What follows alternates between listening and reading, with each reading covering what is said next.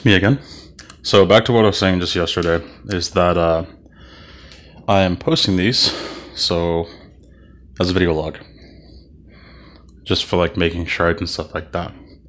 So I cover a topic I wanted to cover today was that I get that wanting to be an entertainer is a stupid decision. Some people might not agree, but it is. It's a very dumb, irresponsible decision. I think the adrenaline in that, you know, making the decision is that it could work, which is the crazy part. Because when it does, you know, you can initially utilize that to your advantage, but obviously, if you start taking the wrong path, you diminish into nothing. Uh, part of why I brought this up again was because back to the multiple mansions analogy. Um, there's so many. There's so many. And it's definitely doable. They they wouldn't they wouldn't build so many if if it wasn't. If it was just meh. Um something I take pride in, especially doing what I do, is when I perform, I go all in. I don't want to just kind of stand there, the mic in a very, you know, stale, fragile position.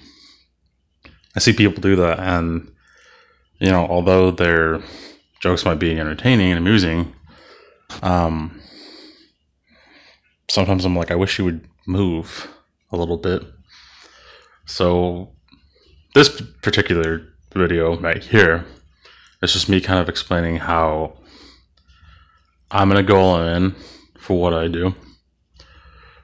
If it doesn't happen in like a year, year and a half, I will promise myself to definitely go back to school and you know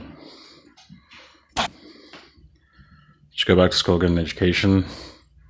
Because I mean, that's all I've going for me right there. But right now, in doing this, this irresponsible decision, I want to go all the way. I want to really try. I'm gonna really try. I am really trying. You know, whether or not I'm funny, whether or not people think that I suck, and maybe I do. Comedy's very subjective. It's really it depends what you like, what spikes your interest, which is why you have to be relatable in all parts of it. But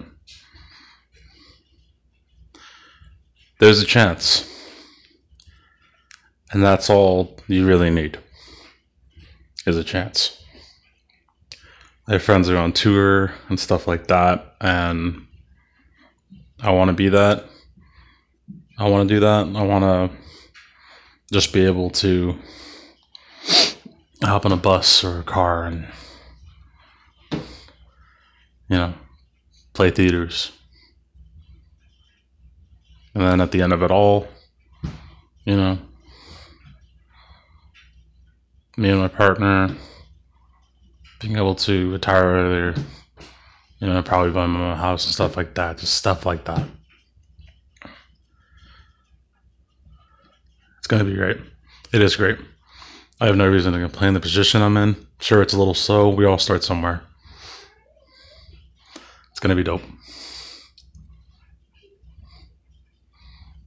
It's going to be dope.